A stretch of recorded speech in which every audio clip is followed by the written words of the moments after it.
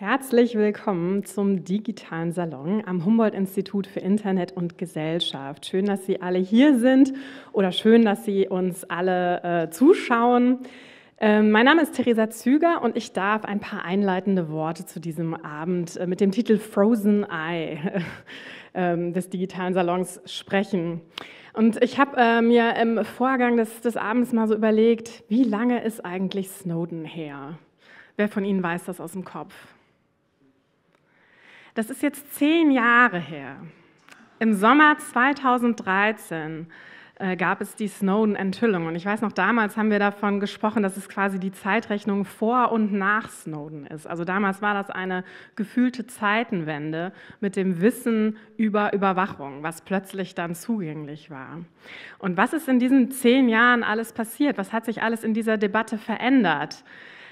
Tja, also ich glaube, das ist eine Frage, die wir heute Abend äh, vielleicht auch beleuchten können, weil man muss sich fragen, der Aufschrei über die äh, Überwachung, den wir damals gehört haben, den spüre zumindest ich in der Gesellschaft heute so nicht mehr. Und wir müssen uns vielleicht fragen, warum ist das so? Hat sich wirklich die Situation verändert?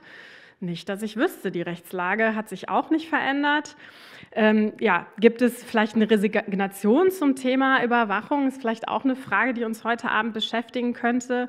Oder gibt es eine Wissenslücke äh, in der Gesellschaft, sich klar zu werden, in welchen Räumen welche Art der Überwachung stattfindet und was diese gesellschaftlich bedeutet? Äh, und genau deswegen ähm, stehe ich auch heute Abend hier und darf ein paar einleitende Worte sprechen, weil wir uns mit dem Thema Gesichtserkennung auch in einem anderen Projekt beschäftigt haben, auf das ich kurz hinweisen darf. Ähm, es ging nämlich um ein Projekt, wo wir ähm, unter dem Titel KI menschlich erklärt verschiedene KI-Technologien gemeinsam mit Bürgerinnen und Bürgern äh, ja, erklärbar machen wollten und gemeinsam geschaut haben, was sind denn eigentlich die Fragen, die Bürgerinnen interessieren und mit welchen Methoden sollte man die erklären. Und eines der Dinge, die, was dabei rausgekommen ist, ist ein äh, Online-Experiment, äh, bei dem man KI ähm, ja, Facial Recognition und Facial Detection, was da der Unterschied ist, werden Sie dann dort erfahren, äh, selbst testen kann und mehr darüber erfahren kann, wie diese Systeme technisch funktionieren. Und äh, wir hoffen, dass der heutige Abend äh, Sie auf diese Erklärungen nochmal besonders neugierig macht. Sie dürfen die dann danach hier auf der Terrasse auch direkt äh, ausprobieren. Und in den nächsten Tagen äh, wird das System auch online zur Verfügung stehen. Genau, und ich äh, hoffe, dass uns quasi äh, der heutige Abend einfach nochmal einen Anstoß gibt, dieses Thema neu aufzuarbeiten, weiter darüber nachzudenken, ähm, weil ja, Snowden sind zehn Jahre her, aber so wahnsinnig viel hat sich vielleicht äh, in der Debatte dazu gar nicht verändert. Großes Fragezeichen. Ich bin gespannt auf die Antworten unserer Gäste und gebe jetzt äh, ab an die Moderatorin. Dankeschön. Vielen Dank. An Theresa Züger, ich habe jetzt ganz artig alle Fragen, die du hast, mitgeschrieben, damit wir die dann hier auch natürlich besprechen. Snowden hatte ich bislang gar nicht auf dem Schirm, aber natürlich, zehn Jahre, können wir mal drüber reden. Also vielen Dank für die einführenden Worte und damit legen wir los heute Abend hier im Humboldt-Institut für Internet und Gesellschaft. Mein Name ist Nancy Fischer. Ich versuche dieses große Thema mit den Gästen heute so ein bisschen äh, in diese 50 Minuten ungefähr reinzuquetschen. Am Ende natürlich auch noch Zeit für eure Fragen, äh, sei es jetzt quasi per Ex, per Twitter, wie ich ja immer wieder lernen muss, oder eben hier direkt im Raum. Es gibt wahrscheinlich eine Menge Fragen. Es gab ja im Vorfeld einen kleinen Workshop dazu. Vielleicht ist da schon das eine oder andere im Kopf zum Thema äh, Gesichtserkennung, was euch interessiert. Genau. Also ich bin sehr neugierig, was wir hier besprechen wollen, äh, denn das Thema Gesichtserkennung, denke ich mal, ist eins, was uns alle entweder jetzt schon im Alltag hier und da immer wieder begegnet oder in der Zukunft vermutlich eher mehr als weniger begegnen wird. Und deshalb ist das der digitale Salon zu Frozen Eye, der Zukunft der Gesichtserkennung. Gesichtserkennung. Und ja, das Ganze nicht nur einfach auf unseren Handys oder im privaten, sondern vor allem im öffentlichen Raum wollen wir das besprechen. Und der öffentliche Raum ist tatsächlich riesig. Also ist es der Bahnsteig, wo wir auf unseren Zug warten, ist es der Eingangsbereich von einer Veranstaltungslocation wie dieser hier oder einem Konzertsaal, wo wir ein Konzert besuchen wollen. Oder vielleicht das Stadion in Paris, wo ich im kommenden Jahr mir die Olympischen Spiele anschauen möchte. Und dann gefilmt werden könnte. Wer in China lebt, für den ist es vielleicht der eigene Hausflur, wenn man die Tür öffnet und da schon direkt ähm, erkannt wird oder die Kantine, wo ich mein Essen mit meinem eigenen Gesicht bezahlen kann. Also alles äh, potenzielle Orte, wo Gesichtserkennung stattfindet oder stattfinden könnte in Zukunft. Und ähm, genau, wir wollen uns anschauen, wo wir da gerade hier in Deutschland stehen, das vielleicht äh, am Anfang und uns dann so langsam rauszoomen in den nächsten Minuten, ähm, wie die EU das ganze Thema gerade regulieren will und wie es eben auch weltweit aussieht. Denn das ganze Thema kann man gut finden, Stichwort Sicherheit kann man äh, nicht so gut finden. Stichwort zu wenig Freiheit. Und wir müssen in jedem Fall darüber reden, was da gerade passiert. Und das tun wir mit den folgenden Gästen. Bei uns ist ein Mann, dessen Hauptjob eigentlich die Einhaltung vom Datenschutz ist. Professor Ulrich Kelber, Diplom-Informatiker, seit viereinhalb Jahren der Bundesbeauftragte für Datenschutz und Informationsfreiheit der Bundesregierung.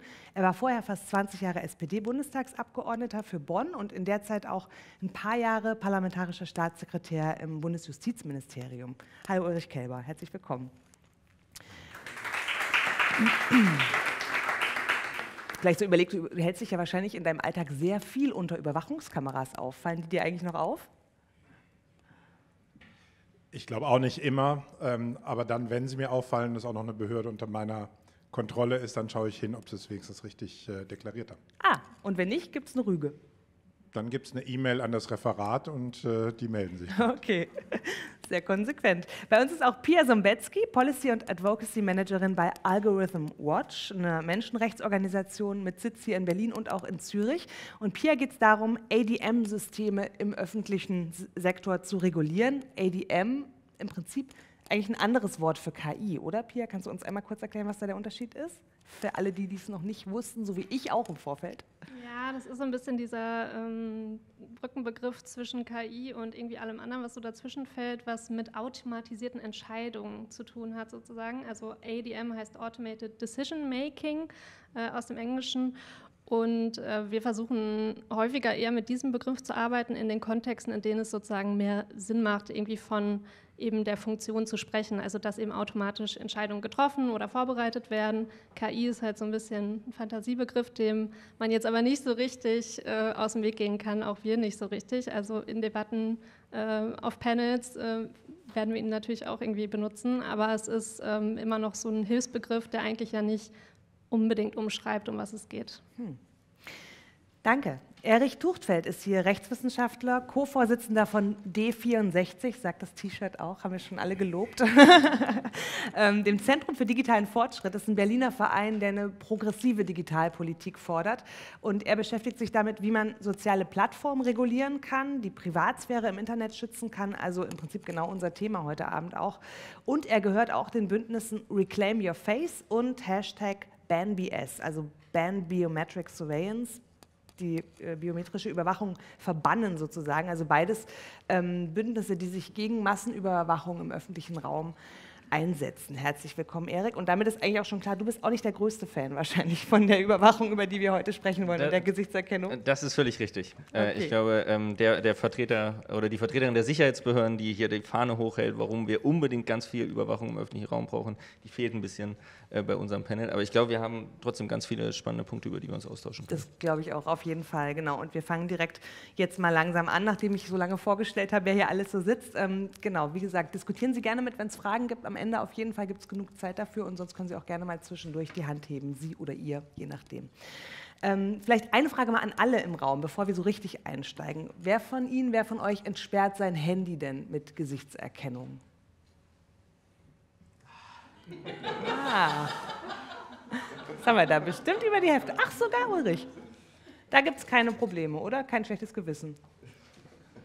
Nee, schlechtes Gewissen nicht. Mein Job ist ja auch nicht, überall zu schreien, geht nicht, sondern ich muss immer abwägen, sowohl bei den Sachen, die ich erlaube, als bei den eigenen, ähm, um dann gegen die Sachen vorzugehen, die tatsächlich problematisch sind. Bei meinem privaten Handy, ähm, auf dem bestimmte Dinge gar nicht drauf sind, habe ich für mich die Entscheidung getroffen. Okay. Ähm, das ist ja auch so ein kleiner, nur ein kleiner Ausschnitt. Ne? Über, über das Private wollen wir nicht reden, wir wollen über den öffentlichen Raum reden. Und da würde ich gerne einmal wissen, worüber reden wir da eigentlich momentan in Deutschland? Also ich glaube, das Erste, was man immer vor Augen hat, ist eine Kamera, die irgendwas filmt, aber die gibt es ja eh schon lange und viel. Aber wenn wir über die Gesichtserkennung sprechen, auch die KI-basierte, Was genau ist das? Also kann das einmal einer von euch quasi uns technisch nahelegen? Welche, welche Möglichkeiten gibt es da mittlerweile?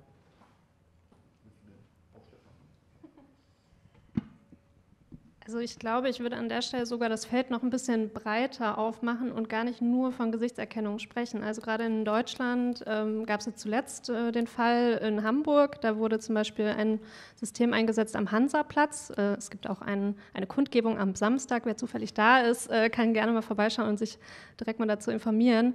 Ähm, und da ist es zum Beispiel gar nicht konkret äh, Gesichtserkennung, die da gemacht wird, sondern da wird Bewegung erkannt. Ähm, da wird dann geschaut, äh, wird da ähm, geschlagen, ist jemand gefallen. Also es ist sozusagen noch ein viel breiteres Spektrum, ähm, um was es da geht. Und von Fällen von wirklich so Gesichtserkennung m, muss man immer so ein bisschen gucken, wo ist das wirklich äh, da, weil, weil da natürlich Datenschutzfragen auch dahinter stecken, die beachtet werden. Da kann uns äh, Herr Kelber, glaube ich, noch viel mehr zu erzählen, äh, warum das problematisch ist in vielen Fällen. Ähm, aber was wir eben auch äh, immer wieder in Untersuchungen sozusagen feststellen, ist, dass einerseits äh, Unternehmen ja auch teilweise ähm, vorgeben zu können, dass sie von Bewegungen zum Beispiel Personen auch identifizieren können. Also ein, allein am Gang zum Beispiel jemanden identifizieren zu können, das geben auch Unternehmen an teilweise. Ob das dann jedes Mal so wirklich hundertprozentig klappt, genauso wie bei der Gesichtserkennung, ne, ist schwierig. Aber in so einem Fall wie jetzt am Hansaplatz wird sowas halt eben auch besprochen, dass, dass das auch eine Gefahr darin ist, selbst wenn da jetzt vielleicht nicht äh, auf die Gesichtszüge so per se geguckt wird. Also ich glaube, äh, das wird uns vielleicht für die genau weitere Unterhaltung helfen, das so ein bisschen weiter zu denken, auch biometrische Überwachung. Ja. Ich würde den Punkt äh, gerne unterstützen. Das ist äh, was, was auffällig ist, was in vielen Städten auch äh, schon im Einsatz ist. Also Mannheim äh, hat zum Beispiel was ähnliches auf dem Bahnhofsvorplatz, Kasse gibt es, glaube ich, äh, ähnliche Systeme. Und die Grundidee ist, dass Anomalien äh, äh, entdeckt werden und dann gemeldet werden und dann können, ähm, können Polizist, Polizisten und ähm, Polizistinnen sich das anschauen, also werden quasi gewarnt und gemeldet. Und wenn man darüber nachdenkt, was, was diese Systeme machen, dann ist es ja wirklich, dass unterteilt wird in regelkonformes und auffälliges Verhalten. Also es geht nicht darum, ob es äh, legales oder illegales ist, es geht nicht darum, wie das hier zumindest bei der Gesichtserkennung in der Regel transportiert wird, dass man Schwerverbrecherinnen und Verbrecher irgendwie fangen möchte, sondern es geht einfach nur darum, den öffentlichen Raum möglichst allgemein zu überwachen und dann jede Anomalie gemeldet zu bekommen und dann einer menschlichen äh, Überprüfung zu ähm, quasi eine menschliche äh, Überprüfung äh, zu vollziehen. Und dieses Suchen nach Anomalien, das passt eigentlich nicht zu einer, äh, zu einer liberalen Gesellschaft, würde ich sagen, weil, weil das eben der fest, die feste Annahme von Regelzustand und Abweichung ist. Und eine liberale Gesellschaft lebt ja aber eigentlich von der Diversität, in der ganz viele Menschen sich unterschiedlich ähm, bewegen und mhm. unterschiedliche äh, Dinge machen können und nicht nur, weil sie einen unauffälligen Gang haben, äh, jedes Mal von der, äh, von der Polizei, ähm, irgendwie bei, bei der Polizei eine Meldung auslösen. Und es gibt Du hast ja die Systeme beschrieben, die ähm, eben nicht nur mit Gesichtserkennung, sondern auch mit eben zum Beispiel Gang oder ähnlichen persönlichen Auffälligkeiten arbeiten, die zu erkennen. Die waren, wenn ich mich nicht täusche, zumindest in der ähm, G, äh, G, G20 oder G8? G20 Aufklärung in, äh, in Hamburg. Äh, da hat die Polizei die tatsächlich dann, ähm, soweit ich weiß, retrospektiv eingesetzt ähm, und versucht, Straftäterinnen und Straftäter ähm, zu erkennen aufgrund von, naja, sagen wir mal, also äh, Auffälligkeiten im Gang oder ähnlichem, um ähm, dann eben, ohne dass es Gesichter erkannt werden können oder ähnliches, zu versuchen ähm, ähm, zu identifizieren, welche Personen ähm, dort waren. Also diese Systeme sind schon im Einsatz. Mhm. Gucken wir uns mal dieses am Hansaplatz an, weil davon habe ich auch gelesen. Es geht da um Schubsen, um Treten, wenn jemand taumelt oder beispielsweise auch ähm, sich defensiv Körperhaltung hat oder eine aggressive Körperhaltung. Sachen, wo ich jetzt wenn ich es gut fände, sagen könnte, naja, da guckt ja die Polizei so oder so hin. So spart sie halt Personal und kann dann mal draufschauen, wenn was passiert. Wie siehst du das, Ulrich Kälber? Ist das was, wo man sagen kann, es ist schon okay, dass sie das da so machen? Weil offensichtlich dürfen sie es ja auch. Also wir müssen uns auf jeden Fall jeden dieser Versuche anschauen. Südkreuz ist ja die zweite Stufe auch ein Versuch, mhm. so etwas zu bekommen. Die Erkennungsraten sind übrigens schlecht. Das ist eine der weiteren Probleme. Äh, man muss sich immer anschauen, erhöht es tatsächlich so einen Konformitätsdruck? Ähm, nimmt bewusst oder unbewusst das Gefühl zu, ich werde laufend beobachtet und jemand anders bewertet das. Jetzt aktuell, später, ich werde in Gruppen eingeordnet, ich werde eventuell einfach ähm, verdächtigt. Ich kann auch Zielobjekt einer ähm, ja, Repressionsmaßnahme sein. Das war ja dann der Streit zwischen uns und der Bundespolizei in der Auswertung des ähm, Versuchs ähm, am Südkreuz hier, dass wir sehr unterschiedlich die Zahlen bewertet haben, was das ähm, eigentlich bedeutet. Und die Bandbreite nimmt halt zu. Ähm, wir haben die Echtzeiterkennung und die Retrospektive, ähm, wo wir jetzt auch sagen, mein Gott, da gibt es jetzt ein Video von der Aufnahme eines Einbruchs, eines Überfalls und den jetzt zu versuchen, aus diesem Video der festgestellten oder mindestens stark vermuteten Straftat zu versuchen, kennen wir jemand davon, ist natürlich anders zu bewerten als 89.000 Menschen, die jeden Tag in den Bahnhof gehen, alle durch ein System erfassen zu lassen und zu gucken, kenne ich den und dann eben durchaus, können wir vielleicht nachher draufkommen, mit hohen Fehlerraten auch behaftet zu sein. Oder eben die Frage, was ist denn etwas, worauf später niemand komisch guckt? Ist das, wenn ich meinem Kumpel auf die Schulter haue? Ähm, wenn man sich stärker umarmt als andere? Mhm. Ähm, was ist denn mit so einem freundschaftlichen Geschubse unter Teenagern? Geht sowas noch? Darf man überhaupt in einer größeren Gruppe zusammenstehen? In Hamburg darf man zu Demos gehen, bei denen man weiß, da nehmen vielleicht auch gewaltbereitere Gruppen zu und mit einer gewissen Wahrscheinlichkeit wird irgendwo am Rande was passieren oder werde ich dann schon mal biometrisch erfasst, bis dahin, dass eben tatsächlich die Systeme noch weitergehen. Auch wer hat gerade eine aggressive Grundstimmung in den Gesichtszügen, äh, bei wem ist Spannung im Stimmbild zu nehmen. Ähm, die Anbieterinnen und Anbieter ähm, sind ja jeden Monat dabei und präsentieren etwas anderes. Ähm, es geht ja immer danach, dass sie glauben, Wahrscheinlichkeiten oder Gesetzmäßigkeiten aus Beobachtungen ableiten zu können.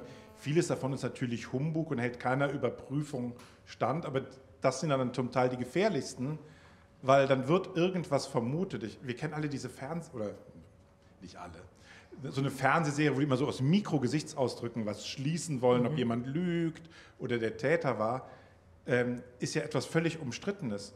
Und nur weil es Computer machen, ist es auf einmal angeblich äh, richtige Wissenschaft und keiner stellt das mehr in Frage. Und in diesem Spannungsfeld ne, ist irgendwas, was uns davon abhält, eigentlich unsere Freiheitsrechte auszuleben, zahlt das massiv ein und es kommt halt jede drei Monate irgendwas Neues obendrauf. Es wird ja nie was weggenommen, es kommt immer was Neues drauf an Überwachung, Beobachtung und Auswertung. Deshalb hast du gesagt, wir gucken uns solche Versuche, wie gerade in Hamburg, vielleicht auch in anderen deutschen Städten, natürlich Südkreuz haben wahrscheinlich die meisten von uns mal gehört, immer genau an. Und wenn wir nochmal auf Südkreuz schauen, weil das wollen wir natürlich besprechen heute, also das ist jetzt mittlerweile sechs Jahre her, dieser Testversuch. Und damals hat der damalige Innenminister Horst Seehofer gesagt, das verlief alles sehr erfolgreich und könnte eine große Hilfe sein für polizeiliche Arbeit. Und jetzt hast du gerade gesagt, die Fehlerquote war so hoch. Ich meine, 80 Prozent wurden damals erkannt und falsch erkannt. Also die Falschtrefferrate waren wohl 0, unter 0,1 Prozent, also einer von 1000. Dazwischen die 20 waren irgendwas, also weder falsch noch richtig, einfach nicht zugeordnet. Ist das so schlecht gewesen, dafür, dass es auch schon sechs Jahre her ist? Ja, ist es. Ähm, und es ist auch nicht so viel besser geworden an anderen ähm, Vergleichen, äh, wobei man eben tatsächlich auch nicht beides hinbekommen hat, die geringe Fehlerquote und die hohe Erkennung. Auch da ist natürlich aus meiner Sicht schon in der politischen Auswertung geschummelt worden. Ähm, aber das Spannende ist, es war eben nur eine politische Auswertung. Ähm, und ganz wichtige Größen, um das einschätzen zu können, was das bedeutet, sind in der Auswertung gar nicht genannt worden. Also 89.000 Menschen waren es damals, die täglich diesen Bahnhof aufgesucht haben. Und jetzt ist ja die Frage, wie viele von denen, die man ja eigentlich sucht, glaubt man denn, dass sie am Tag diesen Bahnhof betreten? Jetzt sagen wir mal, das sind vielleicht sogar, weil Berlin haben wir ja von Horst Seehofer und von Markus Seder gehört, Pfuhl der Verbrecher. Zehn gesuchte Verbrecher betreten täglich Südkreuz. Dann hieße das immer noch bei diesen Werten, dass von jeweils acht Alarmen nur einer richtig ist. Siebenmal rückt die Polizei aus, greift sich jemand aus der Menge, der diese Person nicht ist würde nur ein gesuchter Verbrecher pro Tag bei dieser Rate in Südkreuz sein, wären 99 von 100 Zugriffen Fehlalarme. Das heißt, von 100 Mal würde 99 Mal jemand, Augenblick mal, kommen Sie bitte mit, weisen sich aus, was andere auch beobachten können, kann traumatisierend auch sein. Ähm, passiert ja auch nicht mir als 55-jährigen biodeutschen Weißen, sondern passiert äh, jungen Frauen mit dunklerer Hautfarbe äh, und anderen eben überdurchschnittlich häufig. Und ja, für mich ist das ein großes Problem. Das ist so lange her schon, dieses Thema Südkreuz. Ist das äh, in der aktuellen Debatte, spielt das bei euch noch eine Rolle? Weil man könnte jetzt ja sagen, gut, Horst Seehofer fand es gut, ist nichts draus geworden so richtig, können wir ad acta legen eigentlich. Ist doch eigentlich eine gute Nachricht.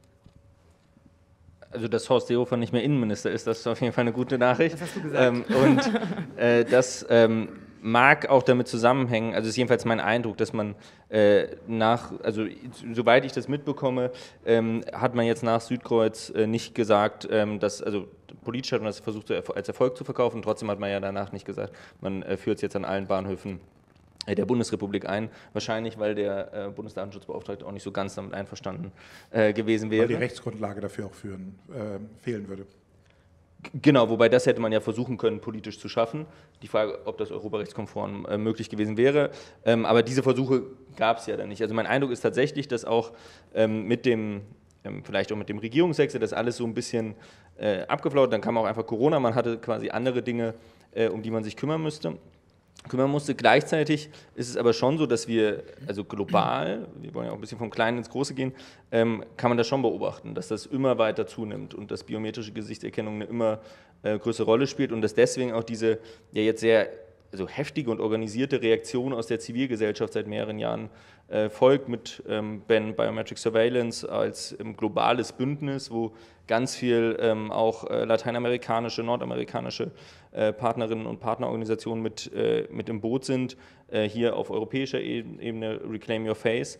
Ähm, also der Anspruch der Zivilgesellschaft auf diese zunehmende Überwachung dann zu reagieren und jetzt das nicht so schleichend passieren zu lassen, sondern dann auch organisierten Widerstand äh, zu leisten. Und ich glaube, dass man dem auch das, also die aktuelle Debatte verdankt und dass es eben nicht einfach unter dem äh, Radar läuft und äh, eingeführt werden kann, sondern dass wir jetzt zum Beispiel auf europäischer Ebene im AI-Act die ähm, zumindest das Verbot der Echtzeit, äh, biometrischen Echtzeitidentifizierung ähm, diskutieren und das Parlament sich jedenfalls dafür ausgesprochen hat. Pia, möchtest du ergänzen?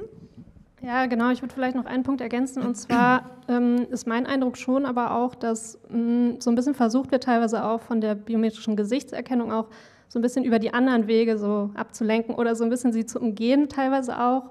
Oder eben nicht ganz transparent eben darüber zu sprechen, dass auch mit diesen Kameras, die jetzt irgendwie Biometrie tauglich sind, und das sind einfach die im so State-of-the-Art-Tech-Bereich, sage ich jetzt mal, dass die auch immer noch für biometrische Gesichtserkennung eingesetzt werden könnten, wenn man wollte, auch wenn man es dann vielleicht nicht legal macht in dem Moment. Also ich unterstelle es jetzt nicht irgendwie den Sicherheitsbehörden an sich, aber es ist schon ähm, vielleicht weniger thematisiert dann, dass es ja immer noch eine Möglichkeit ist, auch wenn man jetzt sagt, nee, wir legen dann eine Software drüber und dann wird das Gesicht ähm, äh, verpixelt oder nee, die die ähm, Personen, die ähm, zum Beispiel deren Bewegungen wir ähm, untersuchen, das sind dann irgendwie Strichfigürchen oder so. Also das, da braucht man ja doch sehr viel Vertrauensvorschuss, finde ich jetzt so als Bürgerin, dass man ähm, das dann ja auch so annimmt, dass das dann nur so genutzt wird, weil Sicherheit dafür gibt es ja dann trotzdem nicht. Also ähm, mir fällt da auch so auf deutscher Ebene noch ähm, ein Fall ein, oder nicht ein Fall, aber da hatte die Deutsche Bank gerade in Corona-Zeiten zum Beispiel ähm, Tests gemacht zu ähm, Videoüberwachung, die ähm, Personenflüsse ähm, auch in Zügen untersuchen sollte. Und da sollte eben drauf geguckt werden, halten die Leute genug Abstand. Ne? Also es ist jetzt nicht überall eingeführt, keine Sorge, aber es ist sozusagen ähm, pilotiert worden. Und da wurde eben auch jetzt äh, Förderung an ein Startup ähm, versprochen, das eben damit wirbt, äh, Gesichter so zu verzerren, dass man die Person nicht mehr persönlich sozusagen im Gesicht erkennen kann. Aber was man zum Beispiel immer noch könnte, ist halt eben zu, die Person zu kategorisieren, also zu schauen, ist das eine äh, Frau vielleicht mit langen Haaren oder ist das eine weiße Person oder nicht? Und ähm, solche Identifizierungen sind dadurch ja auch immer noch möglich. Ähm, und überall wird halt sozusagen dann aber betont in den Werbemaßnahmen dazu, dass äh, hier ganz besonders auf Datenschutz geachtet wird. Und also ich frage mich so ein bisschen, inwiefern da so jemandem auch ähm, genau, vielleicht Herrn Kelber neben mir irgendwie was Gutes getan werden will, um diese, indem er diese Dinge alle so versucht, so abzufedern schon von vornherein. Also das ist so ein bisschen mein Blick äh, darauf, nachdem ich sozusagen mich versucht habe, so ein bisschen einzulesen in die verschiedenen äh, Anwendungsmöglichkeiten eben, die man auch so hat im, im großen Komplex äh, Videoüberwachung sozusagen heutzutage. Genau. Also vielleicht können wir die Frage nochmal weitergeben. Ich meine, im öffentlichen Raum reden wir jetzt ganz oft eben von Tests, von Versuchen, von dreimonatigen Probephasen. Aber wenn wir über sowas reden, was jetzt auch wirklich schon stattfindet, beispielsweise wie die Polizei arbeitet, die das ja schon häufig einsetzt, auch sozusagen in ihrer Ermittlungsarbeit, wie ist es denn, was ist denn eigentlich so richtig die Rechtsgrundlage hier in Deutschland, bevor wir gleich auch mal auf den AI-Act gucken, der jetzt schon zweimal angesprochen wurde? Also können Sie uns oder kannst, kannst du uns mal einmal zusammenfassen, was was darf im Moment eigentlich gemacht werden? Ist bestimmt ganz einfach, das zu sagen. Ist es natürlich leider nicht. Ähm, alleine schon, weil natürlich zum Beispiel die, die Polizeigesetze natürlich in den Ländern sind. Es gibt wieder ein Bundespolizeigesetz, das ist gerade in der Novelle, also wird bald da was anderes sein. Die Frage, was ein Bundeskriminalamt machen darf, was dürfen auch noch weitere Sicherheitsbehörden machen, was darf auch ähm, stattfinden im, im unmittelbaren ähm, Schutz von zwar öffentlichen Gebäuden, aber die halt nicht öffentlich öffentlich sind, sondern zum Beispiel ähm, also äh, Video- oder Sicherheitsüberwachungen. Ähm, das ist sehr unterschiedlich. Vieles von diesen spannenderen Fragestellungen wird oft, wenn sie nicht mehr im Piloten sind, auf Generalklauseln gestützt. Das halten wir für nicht tauglich, weil wir sagen, wenn man sowas tut, dann muss es spezialgesetzlich transparent geregelt werden. Man muss nachweisen, dass man eine Abwägung vorgenommen hat, muss zeigen, wie man die Auswirkungen äh, abmildert, wie man wirklich informiert. Alles das muss stattfinden. Äh, und da habe ich auch die dreifache Aufgabe. Ne? Ich darf die Öffentlichkeit sensibilisieren. Das wäre es, wenn ich sage, halte ich für völlig äh, falsch und ist vielleicht sogar, wird am Ende vom Verfassungsgericht scheitern. Da haben wir in fast 90 Prozent der Fälle bisher äh, richtig äh, gelegen, wenn wir das vor einem Gesetz äh, gesagt haben. Ich darf prüfen, ob europäisches Recht gebrochen wird, also DSGVO oder JI-Richtlinie. Und das letzte ist aber auch Beratung. Das heißt, ähm, in der Beratung gehört dazu, ich weiß, Sie wollen dorthin und ich versuche Ihnen halt zu helfen in der Beratung, dass Sie es möglichst ähm, nah an, also nicht nur gesetzeskonform, sondern möglichst datenschutz- und bürgerrechtsfreundlich machen. Und da stoßen wir auf äh, viele Geschichten. Ich halte das, wie gesagt, mit der dass, der, ähm, dass man gestoßen wird nach dem Motto, da passiert irgendwas, schon für schwierig, weil das natürlich auch ein Bias in, auf was reagiert die Polizei hm. darlegt. Aber es gibt auch andere Fragestellungen. Also die Polizei identifiziert zum Beispiel an einem Ort, wo sie Videoüberwachung machen darf, identifiziert eine Person in der Menge. Und ähm, es ist unglaublich schwierig, dieser Person durch eine große Menge als Mensch zu folgen ein System, also Systeme, die schaffen dann zu sagen, also ich markiere eine Person und der will ich jetzt eine Zeit lang auf dem Videobildschirm, vielleicht auch von einer Kamera zur anderen folgen. Ist das eigentlich noch legitim? Das sind so die Fragestellungen, die auf uns zukommen. Und wie gestalte ich das? In dem Augenblick versuche ich keine Auswertung, keine Erkennung zu machen, sondern ich verbessere sozusagen die Möglichkeiten, dass ich mit weniger Leuten das Gleiche tun. Da gibt es dann schon Dinge, die auch möglich sind. Aber es ist wirklich, es ist ganz viel Detailarbeit dann auch. Hm.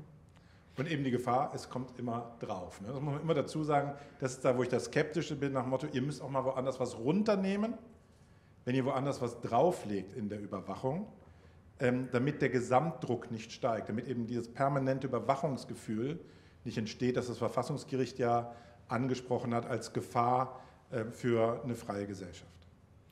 Woanders was runternehmen. Ich überlege gerade, wo das sein könnte, aber das ist dann vielleicht ein anderes Thema. Oder haben Sie so, hast du sofort eine Idee, wo? Naja, also äh, in meinem letzten Tätigkeitsbericht habe ich zum Beispiel gesagt, dass manche der ähm, Dateien, die mal in den Chili-Gesetzen geschaffen wurden ähm, oder später, äh, von denen wir sogar feststellen, dass sie in Wirklichkeit gar nicht ähm, gut genutzt werden, dass man die auch mal abschaffen kann, ja, okay. in der Form. Also Antiterrorismusdatei, Rechtsextremismusdatei, nicht weil ich glaube, dass man nicht mehr gegen Rechtsextremismus machen will, nur diese ähm, Datei ist völlig überflüssig. Also an solchen Stellen könnte man Dinge tun. Man muss aufpassen in dem ganzen Bereich von Staatstrojanern, Quellen, TKÜ und ähnliches.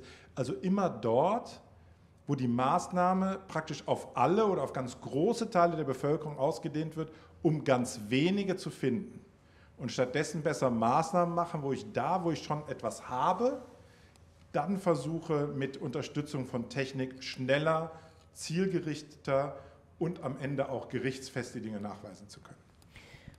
Ich würde vielleicht eine Ergänzung dazu, weil wir äh, gerade ja in der, beim, äh, in der Anmoderation im Input ähm, haben wir darüber gesprochen, ob Edward Snowden, äh, da hat man das Gefühl einer Zeitenwende, jetzt kommt vielleicht der, äh, der globale ähm, Aufschrei gegen, äh, gegen staatliche Überwachung und ähm, jetzt fragt man sich, ist das wirklich eingetreten? Und ich glaube, die Zeitenwende ähm, die, man, die man hatte, die war wirklich 2001. Das war nach wie vor der 11. September 2001 als Zeitenwende in der äh, Sicherheitspolitik. Es gab auch in den 90er Jahren schon problematische Sachen. Es gibt auch, wenn man zurückblickt, äh, die, in, der, in Zeiten des RF-Terrorismus gab es eine Historie, quasi eine Welle an äh, Gesetzen, die damals Richtung ähm, mehr Überwachung gingen und äh, quasi Startpunkte waren für das, was wir seitdem erleben. Aber eigentlich gibt es seit 2001 einen fortwährenden Druck, immer weiter äh, Überwachung auszubauen. Und das betrifft eben alle Bereiche. Also wir haben die Kamera- und Videoüberwachung äh, im öffentlichen Raum, wir haben einen massiven ähm, privaten quasi Überwachungskapitalismus, auf den ja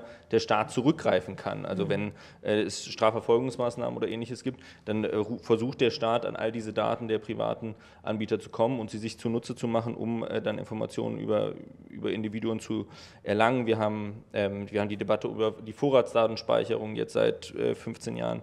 Wir haben mit der Chatkontrolle, also man kommt vom Hundertsten ins Tausendste, also dem Ziel, dass private Nachrichten auch überwacht werden und gelesen können. Und es gibt, glaube ich, es gibt oft so eine Art Dammbruchmoment, also da versucht man irgendwas das erste Mal einzuführen.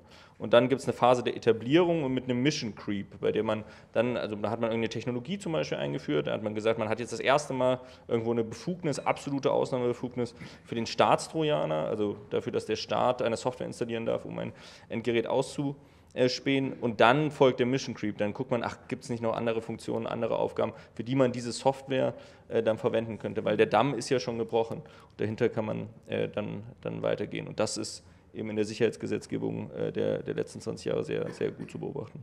Dann ist es doch aber eine sehr, sehr gute Nachricht, was momentan sozusagen auf europäischer Ebene passiert. Das müssen wir uns natürlich im Detail angucken, aber genau das wurde im Sommer äh, quasi verabschiedet, die erste Verordnung über künstliche Intelligenz. Also dieser AI Act, von dem vielleicht der eine oder die andere gehört hat, im Prinzip weltweit einmalig bislang ein Gesetz, äh, was äh, künstliche Intelligenz ein bisschen regulieren soll und der auch die automatische Gesichtserkennung verbieten will. 2024 soll es vermutlich in Kraft treten. Mal gucken. Ähm, es wurde jetzt erstmal so grundsätzlich gelobt, aber vielleicht gucken wir es uns mal im Detail an. Ist es sowas, wo ihr sagt, Pia beispielsweise, finde ich eigentlich grundsätzlich gut oder gibt es da viele kleine Abzweigungen, wo man doch nochmal genauer hingucken muss? Ja, ich befürchte, ich muss ein bisschen äh, den Downer hier reinbringen. Also ähm, an sich, die Idee war gut. Äh, die Kommission hatte ja in dem Entwurf schon geschrieben, ähm, also die Kommission schreibt ja den Entwurf dann für die Regulierung und hatte da eben schon reingeschrieben, äh, biometrische Fernidentifizierung, so nennen die das da, äh, soll ähm, verboten werden europaweit. Und die deutsche Bundesregierung hatte das eigentlich ja auch schon in ihren Koalitionsvertrag reingeschrieben, biometrische Fernidentifizierung sollte europarechtlich ausgeschlossen werden. Da gab es sozusagen diesen Sync, also diese ähm, Überschneidung. Ähm, gleichzeitig hatte die Kommission aber schon eine ganze Liste an Ausnahmen auch schon mit reingeschrieben. Das ist immer so ein bisschen so, der Teufel steckt natürlich im Detail. Ähm, und das sind dann doch so viele, dass ich sie jetzt nicht mehr, glaube ich, alle aufzählen könnte. Also es ist wirklich, es gibt dann sozusagen Gründe, warum man dann eben das doch einsetzen könnte. Ähm, sowas wie, äh, es werden Kinder vermisst ähm, oder es, äh, Opfer von ähm, Gewalttaten ähm, werden, sollen aufgespürt werden. Also es gibt dann doch eine ganz lange Liste an Ausnahmen und der Rat, also sozusagen die Mitgliedstaaten in der EU, ähm, haben dann danach ihre Position eingereicht und eben nochmal auch so eine Generalklausel, wie Keller das eigentlich schon ähm, vor, äh, vorformuliert hatte, nochmal dazugepackt, also den Grund nationale Sicherheit nochmal draufgesetzt unter dem man dann irgendwie alles Mögliche fassen kann. Und unsere Perspektive darauf war dann schon sehr, ähm, genau, wir waren dann sehr ernüchtert sozusagen an, an, spätestens an dieser Stelle, weil man natürlich irgendwie ein Verbot ähm, so verwässern kann, dass es irgendwie keinen wirklichen Effekt mehr hat. Das Parlament hat es jetzt eben im Sommer versucht, so ein bisschen wieder äh, ins Gleichgewicht zu bringen mit ihrer Position, hat ähm, ähm, eine kleine Ausnahme mit reingenommen. Ich denke, das ist in den Parlamentsverhandlungen zwischen den verschiedenen Parteien dann so entstanden, wo eben gerichtlich ähm, ähm, eine Erlaubnis klargegeben werden muss, damit man das nachträglich ähm, noch mit KI ähm, untersuchen kann, Videomaterial, ähm, und eben versuchen kann, Personen zu identifizieren ähm, und auch vor allem dann, wenn eben schwere Straftaten schon äh, vollzogen wurden. Wobei da auch der kleine Haken dran ist, es ist nicht europaweit ähm, genau irgendwie harmonisiert, was eine schwere Straftat ist. Also verschiedene Länder könnten das wahrscheinlich auch verschieden auslegen, so habe ich das verstanden. Aber die äh, europäische Parlamentsversion ist schon noch so mit die beste, sage ich jetzt mal, aber sie hat sich jetzt nicht äh, final durchgesetzt. Die Verhandlungen sind nicht abgeschlossen äh, bisher und das wackelt schon auch sehr an der Stelle, ob dieses Verbot dann wirklich wirken kann als Verbot. Und wenn wir uns aber so, also sozusagen die Ausnahme angucken, klar, nationale Sicherheit ist so ein weites Feld, ich glaube, da ist klar, da kann jeder irgendwas rein interpretieren nach Staat, wie es mir gerade passt, das wird schwierig. Aber wenn wir sagen, wir suchen vermisstes Kind, gibt es denn nicht auch Gründe für euch, wo ihr sagt, okay, da ist es auch legitim, das einzusetzen? Oder ist es per se was, was einfach keine Rechtfertigung hat?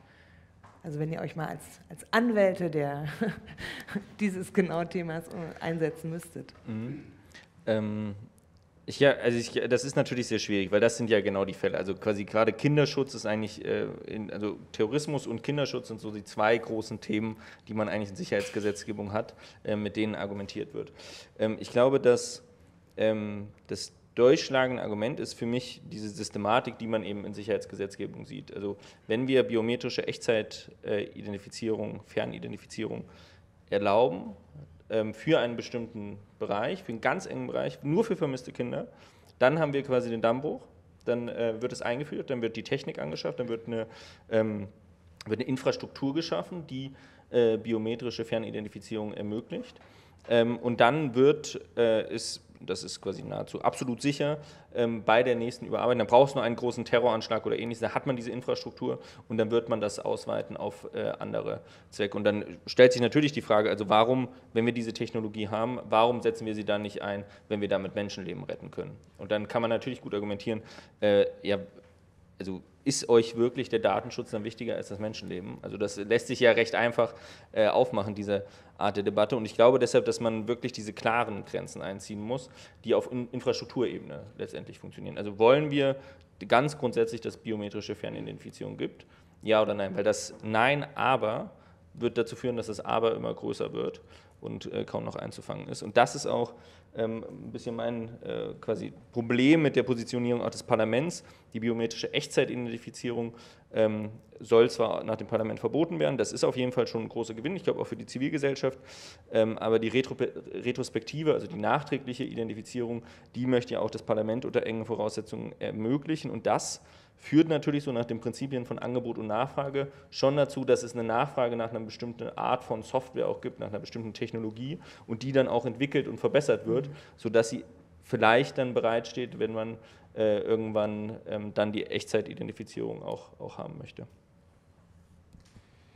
Also erstmal ist der Einsatz von KI eigentlich überhaupt für Sicherheitsbehörden ähm, geraten? Ja, natürlich. Also wenn die nach einem großen ähm, Kindermissbrauchsskandal oder Kinderpornografieskandal, um mal das Beispiel, das hier immer als Totschlagargument gegenüber Datenschützern verwendet wird, oder bei anderen ganz schweren Straftaten, wenn die ganz große Mengen von Daten beschlagnahmen, dann möchte ich, dass die Tools haben, mit der sie diese Daten in einer vernünftigen Form sich anschauen können und nicht per Hand irgendwas tun müssen. Ähm, wenn die eine Aufnahme von einer ähm, Einfahrt an dem Kindergarten haben, dann sollen sie diese Werte aus der, versuchen, mit, ähm, anhand von Fotos, die sie von möglichen Verdächtigen haben, abzugleichen.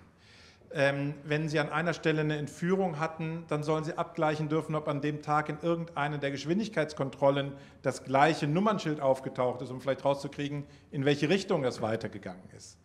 Äh, und über viele dieser Punkte sind Tools auch erlaubte Kombinationen von Daten, äh, bei schweren Straftaten. Worüber wir uns immer unterhalten ist, bringt es wirklich was auf den Haufen von Daten, einen weiteren Haufen von Daten draufzuwerfen aus der Überwachung aller, plus eben dem Versuch, es immer weiter auszuweiten. Früher war es ein bisschen zu Urheberrechtsverletzungen. Ähm, oder schließen wir vielleicht als erstes auch die Lücken, die es an anderer Stelle in der Verfolgung dieser Straftaten gibt. Und gerade auch äh, bei den geschilderten Fällen gibt es natürlich Dinge, die in Deutschland noch schlechter laufen als bei anderen Ländern, die bessere Benchmarks in der Polizeiarbeit in diesem Bereich haben. Ich glaube, dass beim AI Act äh, viele gute Geschichten drin stehen. Äh, mal schauen, ob aus dem Trilog mit dem Parlament noch Verbesserungen mit klaren Ausnahmen und wenn es erstmal Moratorien sind, müssen wir sagen, wir müssen da auch noch mehr verstehen. Was ich eben nicht glaube, was manchmal aus der Zivilgesellschaft kommt, zu sagen, es muss eine staatliche Institution geben, die praktisch jeden Algorithmus, der dann als KI gekennzeichnet wird, ganz oft ist es ja gar nicht im engeren Sinne KI, äh, und dann erlauben muss, dass der zugelassen wird. Das funktioniert nicht. Wir unterhalten uns dort über Hunderttausende, Millionen Systeme, teilweise mit zwei, drei Updates pro Tag. Das wird nicht funktionieren. Also so eine Art Selbstdeklaration wird stattfinden müssen. Die Frage ist, wie stark kann ich reingehen, wenn das Bereiche, staatlicher Einsatz, aber eben auch privat, da passiert ja auch unglaublich mhm. viel, nur dass wir nicht sofort die gleichen Repressionsmethoden haben. Aber ob es wirklich ungefährlicher ist, bezweifle ich. Äh, dann reinzugehen, wenn jemand eben etwas, was kritisch war, gemacht hat, aber sich nicht an die Regeln gehalten hat. Es ist ja nicht immer, dass es verboten ist, sondern ich muss nachweisen, dass ich keine diskriminierenden ähm, Maßnahmen habe, dass ich das laufend beobachte, dass ich bestimmte Qualitäten habe, dass ich es erklären kann, dass ich eine Transparenz habe, dass Betroffenenrechte wahrgenommen werden können, ähm, dass ich eine Möglichkeit habe, mich an einen Menschen zu wenden, der die Entscheidung, die dahinter steht, noch überhaupt verändern kann, in Realita verändern kann. Also nicht der, der Bankmitarbeiter, der, wenn er ein rotes Kreuz vor sich hat, sagt, Sie kriegen den Kredit nicht. Ähm, sondern tatsächlich eingreifen kann und sagen, ja, bei Ihnen ist die Situation wirklich anders. Meine Entscheidung, ähm, ich übertünche jetzt sozusagen das vom KI-System. Alles das muss da rein. Äh, dann haben wir schon Möglichkeiten, das in den Griff zu bekommen. Und immerhin ist es der erste echte Versuch, weltweit sowas zu tun. Äh, wir werden sicherlich in zwei, drei Jahren ab dem Inkrafttreten Dinge lernen, die bei einer Evaluierung dann weitergehen müssen. Und da, wo wir halt ganz unsicher sind, muss man auch mal sagen, ja, da kann auch mal ein Moratorium notwendig sein. Da müssen wir erst noch mehr erfahren, um zu wissen, ob wir das auf die Gesellschaft loslassen können. Jetzt loben wir das so, ne? also mit aller Kritik natürlich, aber es ist immerhin mal ein Versuch, irgendwie das große Thema KI einzudämmen. Und da schert auch schon irgendwie das erste EU-Mitgliedsland gleich aus. Also ich spreche jetzt in dem Fall mal über Frankreich. Die haben im März den Artikel 7 im Sicherheitsgesetz geändert. Danach können Videos, die von bestehenden oder neuen Überwachungssystemen aufgezeichnet werden, von Algorithmen bearbeitet werden. Was bedeutet das? Das bedeutet de facto wahrscheinlich auch im kommenden Sommer dann beispielsweise Olympia 2024 im Stadion, vorm Stadion, rund ums Stadion, in anderen öffentlichen Einrichtungen wir können überwachen und das auch noch mit äh, quasi von Algorithmen verarbeiten lassen. Ähm, das ist so ein bisschen, wo ich mich gleich frage, wie geht es zusammen? Also ist das ein Problem, was wir in Zukunft wahrscheinlich immer wieder haben? Die EU möchte gern eigentlich was ganz gut machen, aber dann sind es eben doch ganz schön viele, die sich da einigen müssen, gerade bei so einer technischen Entwicklung, die sich so schnell verändert? Oder haben wir da doch die Illusion, dass es irgendwie alle zusammen wuppen? Gut, also bei, äh, bei Frankreich jetzt wäre es natürlich äh, auch spannend. Vermutlich ist der IAC bis dahin äh, nicht, in, nicht in Kraft, würde ich fürchten, sodass es quasi kein Gesetz gibt, kein europäisches Gesetz äh, gibt, gegen das sie unmittelbar verstoßen. Es stellen sich natürlich datenschutzrechtliche Fragen in Vereinbarkeit mit der DSGVO.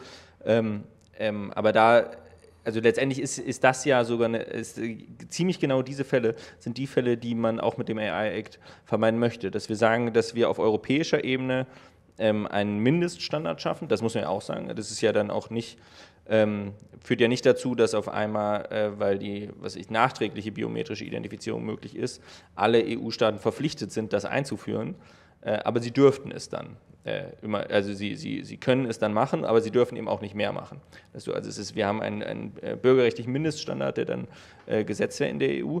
Ähm, und das stimmt mit Sicherheit. Also, die, ähm, also ich glaube, in Fragen der Sicherheit ähm, und des äh, Schutz von Bürgerrechten, dass das eines der Bereiche ist, in der die, die Fliehkräfte innerhalb der Europäischen Union ähm, am weitesten auseinandergehen. Und das mhm. ähm, sind unterschiedliche Themen. Also wenn wir uns ähm, den Schutz von Minderheitenrechten anschauen, äh, dann äh, wird man wohl eher Richtung, Richtung Osten nach Polen schauen, nach Ungarn schauen, äh, an, bei Staaten, die, äh, die da nicht so die Position haben, wie wir, ähm, wie wir das vielleicht in Deutschland äh, gut finden. Äh, wenn es um staatliche Überwachung geht, äh, dann sind das auch ganz andere Staaten. Also dann ist es Frankreich, äh, dann ist es auch Spanien, ähm, die da ein, ähm, weniger Befürchtungen haben, was äh, Bürgerrechte, was den Schutz vor Überwachung angeht, ähm, die Freiheit vor Überwachung, als das in Deutschland der Fall ist. Und was kann ich denn eigentlich? Wir reden immer so über die Metaebene und die großen Gesetze. Ähm, was kann ich denn als, als Bürgerin im Prinzip eigentlich auch tun? Habe ich jetzt schon irgendwas in der Hand, wenn ich sage, ich will vielleicht nach,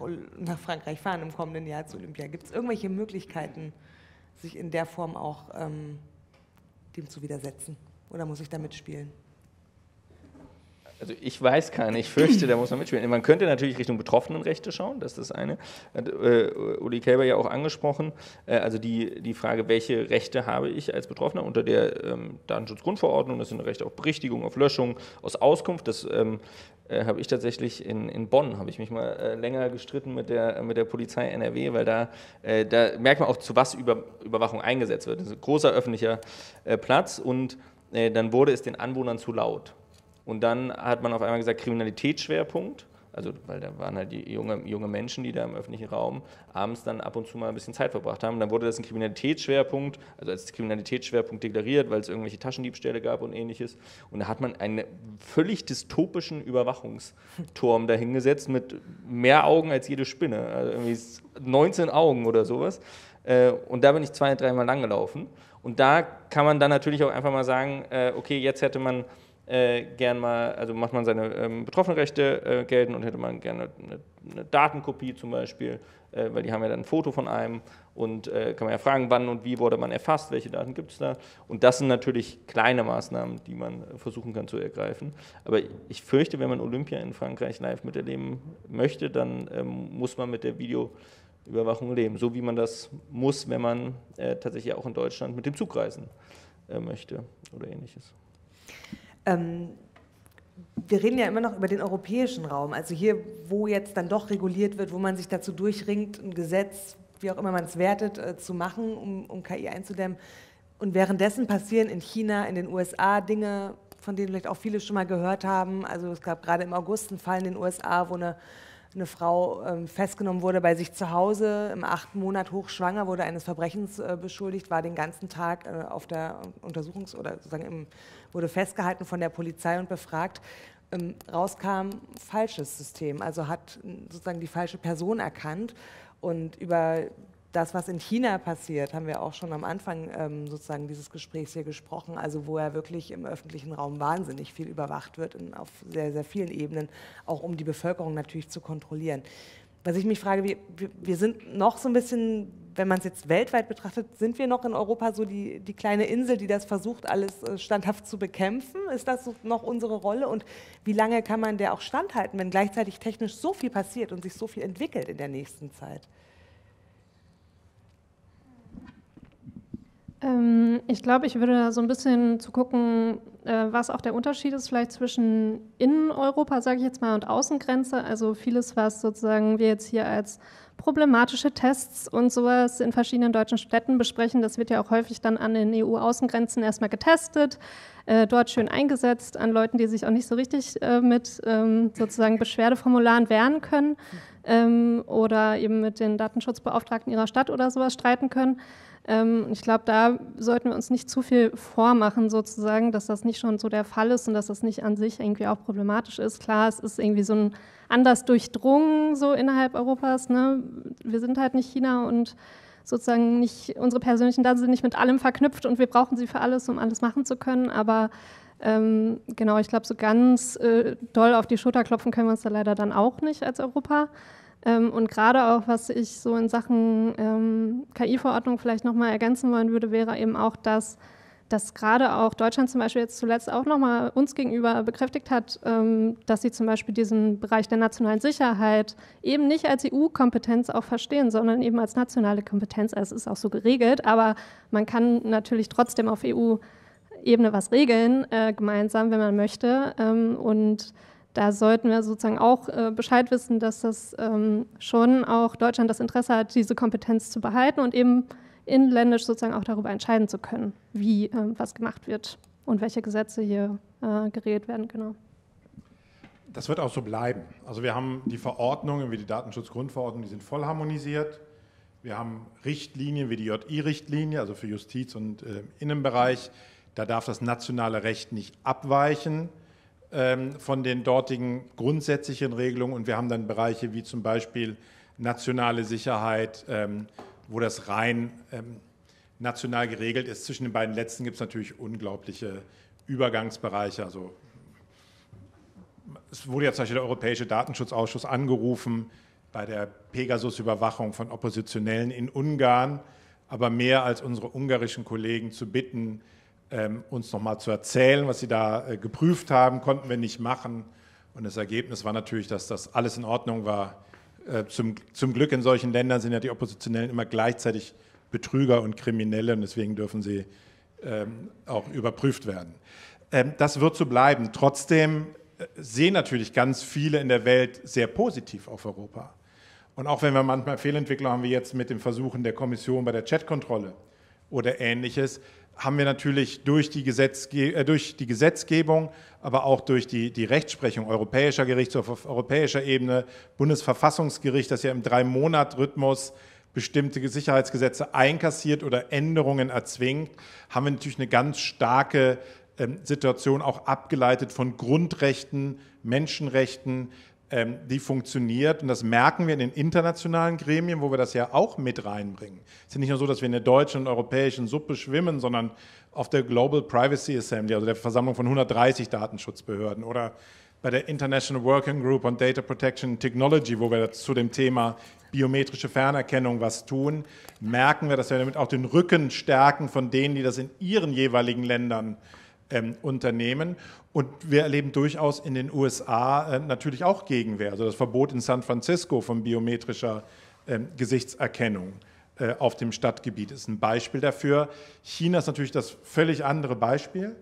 Ähm, und was wir auf, wir werden es dort nicht verhindern können. Was wir aufpassen müssen, ist, dass erstens irgendwelche Dinge, die daraus passieren, irgendwie zu uns reinwandern, von Scores über Technologien und dass die ja, dieses Gift davon so ganz leise reinträufelt. Also natürlich will keiner ein Social Credit System machen, keiner will die automatische ähm, Erkennung an jeder Ecke haben, aber da waren die doch erfolgreich und wenn wir das etwas abwandeln, dann geht das auch oder private Firmen bringen bestimmte Dinge mit rein, dann darf man auf die Daten wieder zugreifen. Da muss Europa ähm, höllisch aufpassen, dass es sich nicht selber so langsam aushüllt, ohne dass es sogar böse Absicht von Regierungen oder Parlament ist.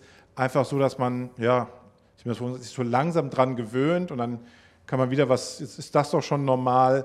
Das haben wir an anderen Stellen gemerkt, wenn früher einer äh, angerufen hat ähm, und ähm, er hat seine Telefonnummer ähm, übertragen oder unsere wurde dann übertragen, das haben wir als schlimm empfunden.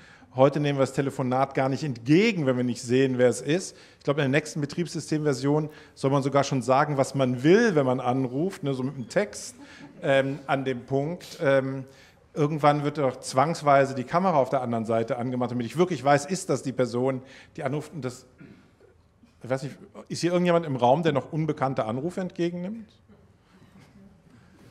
Ja, ich auch. Ich auch. Ja, ich hoffe immer, dass es ein Whistleblower ist ne, an der Stelle. Deswegen. Aber das ist natürlich so. Das im, Großen, Im Großen kann das eben auch passieren, dieses langsam einträufelnde äh, Gift aus den autoritären Regimen.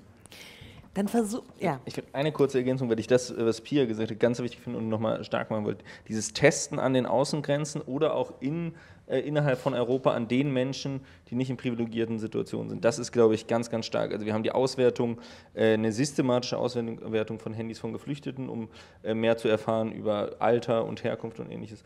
Und es gibt quasi Praktiken, die sind unvorstellbar, dass man die in der Fläche gegenüber deutschen Bürgerinnen und Bürgern anwenden könnte, weil der Aufschrei enorm wäre.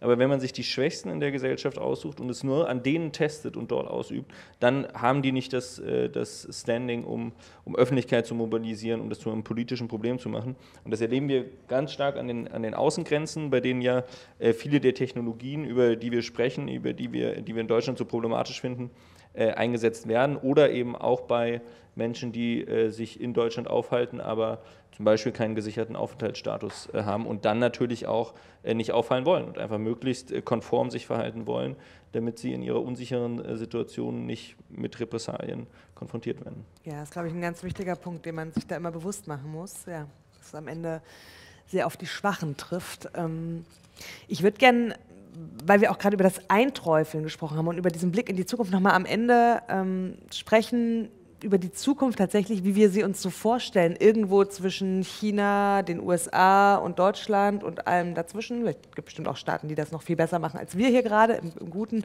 Ähm, und uns mal so beamen nach 20, weiß nicht, 35 vielleicht, so gute zehn Jahre voraus oder vielleicht auch 40, je nachdem, was da jetzt eine, eine gute Zahl wäre, aber so ein bisschen in die Zukunft und bräuchte äh, vielleicht einmal eine, eine Utopie, ich glaube, das ist was, was Ulrich gut leisten könnte. Wie, wie, sieht das in der optimalen Welt aus? Eine Dystopie? Das ist was, was Pia jetzt uns mal erzählen muss. Haben wir schon im Vorfeld die richtige Kandidatin.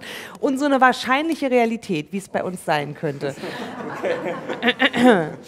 ähm, und weil wir noch grobe fünf Minuten haben, vielleicht ne, kurz auch noch. Entschuldigung. Also mit einer ordentlichen Gesetzgebung und ähm, Staaten und Unternehmen, die sogar eher damit werben, dass sie eben nicht Überwachung machen. Es gibt ja einige erste Beispiele. Ich glaube, es gab eine gute Abstimmung in der Schweiz, ne, um jetzt mal nicht die EU zu nehmen, die gesagt hat, wir nehmen auf gar keinen Fall an Chatkontrolle teil. Ähm, plus Technologien, die man auch einsetzen kann zur Abwehr von Überwachung, ähm, glaube ich, kann das auch eine sehr positive digitale, liberale Zukunft werden. Und dann gibt es aber diese Gesichtserkennung oder die Körpererkennung als, sehr, sehr reguliert. Als Echtzeitfernerkennung durch Dritte, nein. Okay. Gut. So, wie düster soll es jetzt werden, ist die Frage. Wie also, du magst. Uh, so ja, ich habe gerade ganz schlimmes Kino gehabt. Also so die, die blau-türkise Regierung ist da und äh, überall gibt es Kameras und ähm, das Racial Profiling hat sich noch verschlimmert an allen öffentlichen Plätzen. Ständig gibt es irgendwelche ähm, Meldungen auf Softwares in Polizeibehörden und ständig wird ausgefahren, ständig werden die Leute ähm, genau nach ihren Ausweisen gefragt, die so aussehen, als ob sie da nicht sein sollten. Also so stelle ich mir, glaube ich, die Dystopie vor. Ähm, ich höre jetzt mal an der Stelle auf und äh, wir bleiben mal dabei.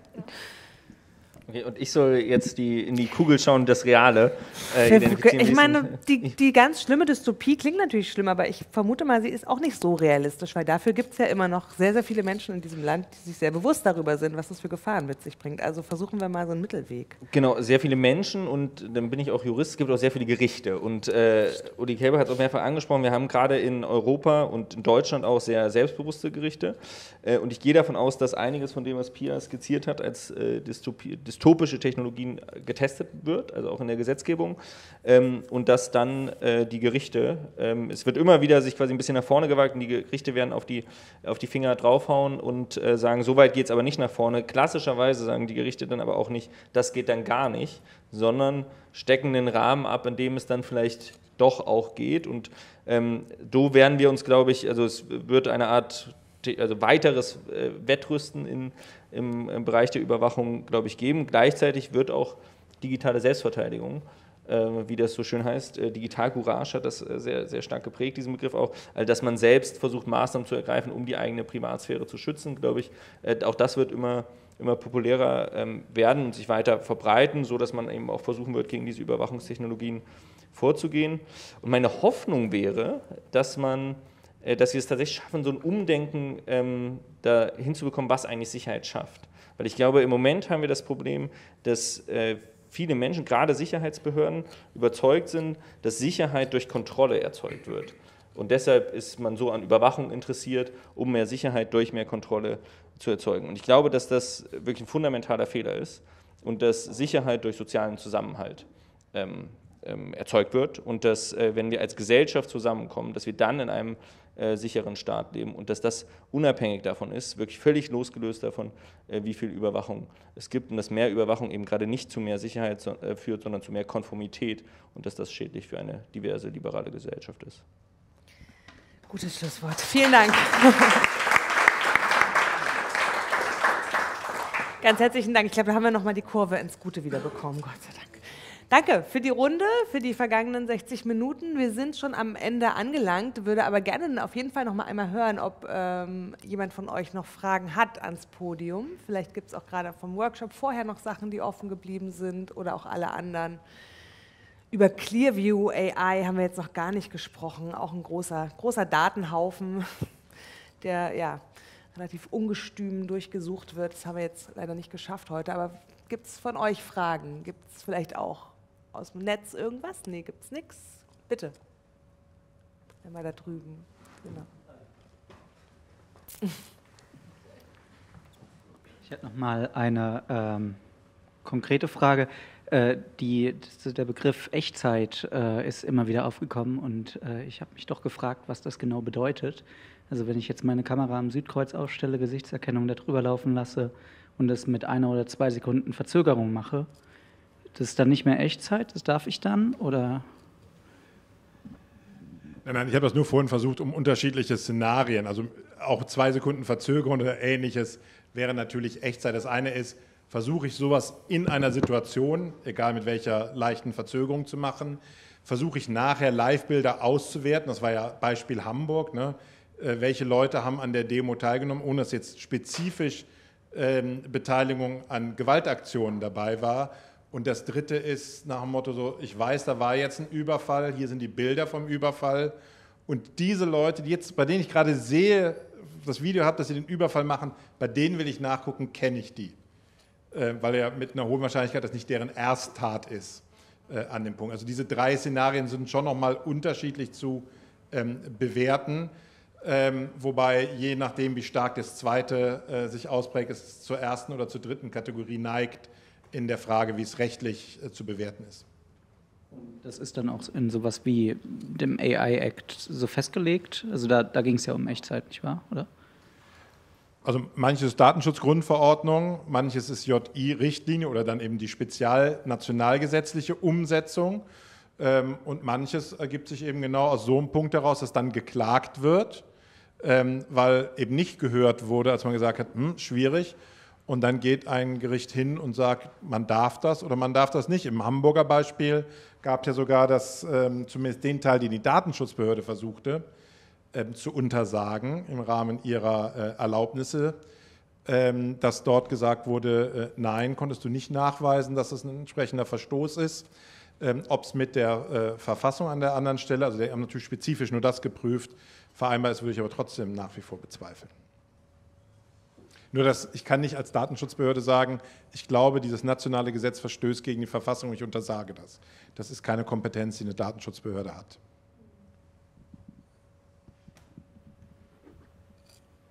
Zwei Fragen gab es noch, genau. Super, dann äh, mache ich direkt weiter, weil ähm, im Redebeitrag gerade sagten Sie so, bei einem mm, quasi Video von einem Überfall darf die Polizei dann schauen, kennen wir die Täter möglicherweise.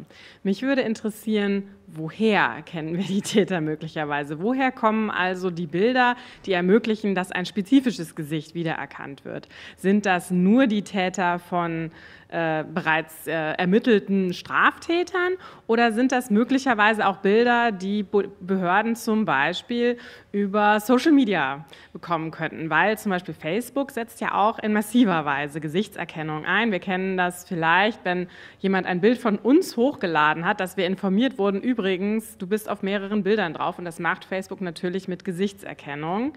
Ähm, genau, deswegen würde mich interessieren, wie gut sind eigentlich BürgerInnen über solche Systeme auch für die Polizei schon identifizierbar, auch wenn sie vorher in keinem strafrechtlichen Kontext irgendwo aufgefallen sind? Oder ist es vielleicht Clearview AI, was wir vielleicht ja. in dem Punkt Nein, nein, also das ist natürlich ein äh, Punkt, um das ähm, klarer zu machen. Die Debatte findet ja immer statt von Polizeibehörden bis zu Nachrichtendiensten, wo auch die Frage ist, was an öffentlich zugänglichen Daten verarbeitet werden darf. Ähm, und wir leider auch immer wieder neu erklären müssen, nein, die Verarbeitung von öffentlich zugänglichen Daten ist trotzdem nicht automatisch erlaubt.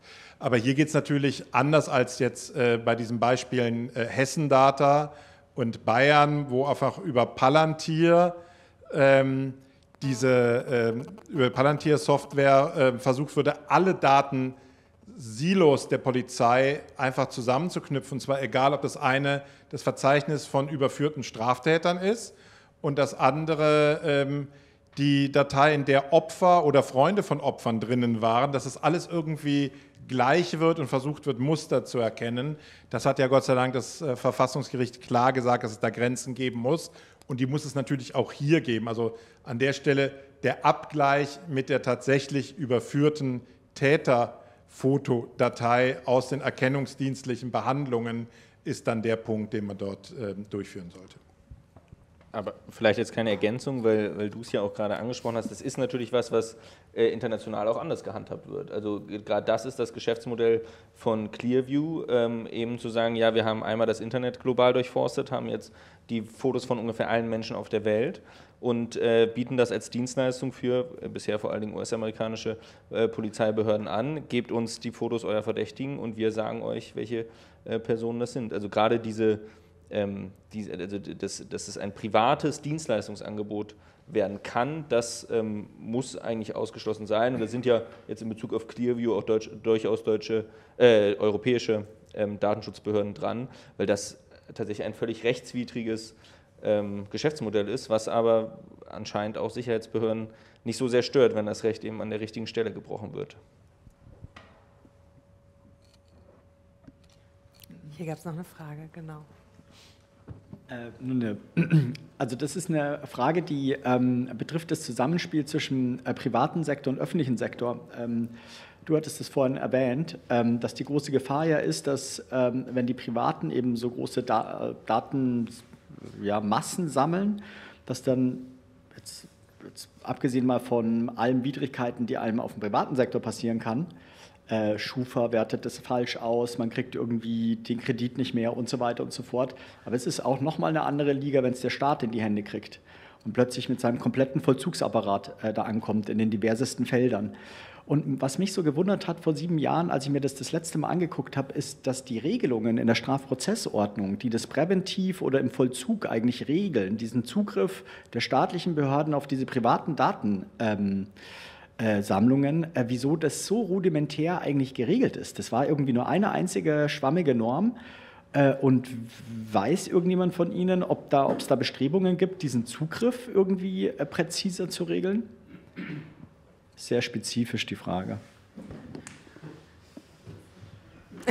Also ich würde für Regelungsinitiativen immer an Ulrich Kälber abgeben, was man, ähm, aber, was man äh, sagen kann, ist, dass es, also es gibt ja, es gibt ja nicht nur in der Strafprozessordnung, sondern gibt es ähm, äh, zum Beispiel im, im TTDSG, äh, also im, für, in Bezug auf Telemedien, äh, gibt es ähm, extra Vorschriften zur Herausgabe dann von Telemediendienstanbietern und ähnliches. Aber ähm, mein Eindruck ist schon, äh, dass ähm, die Daten, die in den Händen von Privaten liegen, für den Staat zugänglich sind. Und äh, nicht immer und nicht immer ganz einfach. Ähm, also abgesehen von praktischen Hindernissen, weil manchmal antworten die halt einfach nicht, wenn eine deutsche Behörde anfragt und die woanders sitzen. Ähm, aber äh, zumindest mit Richtervorbehalt als maximale Einschränkung kann, würde ich behaupten, ähm, staatliche Behörden äh, haben sie zumindest den, also das Recht, äh, die Daten auch abzu, abzurufen. Was es äh, in glaube ich, in Deutschland oder in Europa wäre mir noch kein entsprechender Fall bekannt. In den USA geht das teilweise schon deutlich weiter. Auch da äh, gab es zum Beispiel einen ähm, äh, sogenannten Search Warrant Case, äh, wurde das genannt, auch in Bezug, also Search, weil es um eine Google-Suche auch ging, dass man äh, den, es ging da um einen Fall, in dem in einem spezifischen Ort jemand mit einer ganz bestimmten, äh, auf eine ganz bestimmte Art und Weise getötet wurde und dann gefragt, äh, Google gefragt wurde, wer aus diesem Ort hat diese, hat dazu gesucht. Also quasi umgekehrt. Man hat nicht gesagt, gib mir zu dieser Person die Daten, sondern man hat gesagt, wir haben quasi eine Suchabfrage, haben Nutzer von dir die, das gesucht und äh, dann gib uns die Daten heraus. Ähm, das war äh, bisher ein relativ spektakulärer Einzelfall, aber wenn man anfängt, das weiterzuspielen, diese Art der Reverse Search, quasi nicht mehr von eine, nach die Daten einer Person haben wollen, sondern zu gucken, wie haben sich die Personen auf einer privaten Plattform verhalten. Jetzt sag uns, welche Personen sich auffällig bei dir verhalten haben. Dann führt das natürlich quasi den Überwachungskapitalismus tatsächlich, äh, birgt es nochmal ganz neue Gefahren, wenn der Staat Zugriff auf die Informationen hat. Also es gibt natürlich in der Tat sehr viele Regelungen auf allen Ebenen, föderales System. Ähm, und an, an einigen Stellen wird genau das geklärt, welche dieser Daten dürfen herausgegeben werden, unter welchen Umständen. Ähm, das ist zum Teil in den spezialgesetzlichen Regelungen enthalten. Ähm, das ist äh, bei unmittelbaren Überwachungs- ähm, und Eingriffsbefugnissen der Sicherheitsbehörden, also welche Daten dürfen sie erheben, wie müssen sie zum Beispiel dafür sorgen, dass äh, Informationen über den äh, Kern der privaten Lebensgestaltung dann nicht mit aufgenommen werden. Also Bed Talk ähm, hat nichts zu suchen, wenn man eigentlich die Verabredung zu einem ähm, kriminellen Verhalten ähm, unter verschiedenen äh, Clans versucht rauszukriegen als Beispiel. Und es gilt natürlich ähm, auch andere Regelungen. Also die Frage, wenn ich hier jetzt auf einmal einen Datenpool hätte bei einer Firma, die vielleicht auch bereit ist, ihn zu teilen, ähm, weil er erschreckenderweise da ist, weil eben nicht gut dafür gesorgt wird, dass man erstmal eigentlich eine geschützte Kommunikation hat, ähm, hätte ich diese Daten für diese vermutete Straftat auch selber erheben können. Nur dann darf ich sie auch aus einer anderen Quelle verwenden. Ich darf also jetzt nicht für eine kleine Ordnungswidrigkeit ähm, die Abhörung über das äh, Mikrofon eines Handys verwenden, die irgendeine Privatfirma gemacht hat. Das passt nicht ähm, zusammen. Auch das sind Regelungen, die teilweise spezialgesetzlich entweder geregelt sind oder wo wir dringend vorschlagen, ähm, wenn ihr es macht, müsst ihr eine klare, transparente gesetzliche Grundlage schaffen, auf die sich jeder berufen kann, die jeder prüfen kann und wo wir auch als Aufsichtsbehörde, wenn wir dann reingehen und bei einigen Bereichen ja kompensatorisch, weil die einzelnen Bürger sich nicht anschauen können, was über sie gespeichert ist, wir uns anschauen, ob das eigentlich befugt ist, dass diese Daten da sind oder gibt es überhaupt etwas über diese Menschen, äh, dass wir das dann auch prüfen können, durftet ihr das haben, entspricht das den gesetzlichen Regelungen? Und es nicht jedes Mal einen Grundsatzstreit gibt, ist verfassungswidrig oder nein, können wir auf die Generalklausel äh, stellen, weil das ist, ist nicht zukunftsfähig. Vielen Dank für die Fragen. Gab es jetzt erstmal keine weiter. Ich habe jetzt keine Hand mehr gesehen, will niemand übergehen, aber genau, ich glaube, dann sind die auch alle gestellt worden. Und vielen Dank an euch drei auf jeden Fall für, für diese Runde, fürs Beantworten der Fragen von mir und vom Publikum. Wir haben hier Professor Ulrich Kelber gehört heute. Schön, dass du eine ganze Stunde bei uns warst. Bundesbeauftragter für Datenschutz und Informationssicherheit der Bundesregierung. Pia Sombetzky von Algorithm Watch äh, war bei uns und Erich Tuchtfeld, Co-Vorsitzender von D64. Soweit nochmal diese Runde und euch ja vielen Dank, dass ihr diesen noch so schönen Sommerabend hier bei uns verbracht habt und dabei wart. Äh, danke für die Aufmerksamkeit. Schönen Abend noch.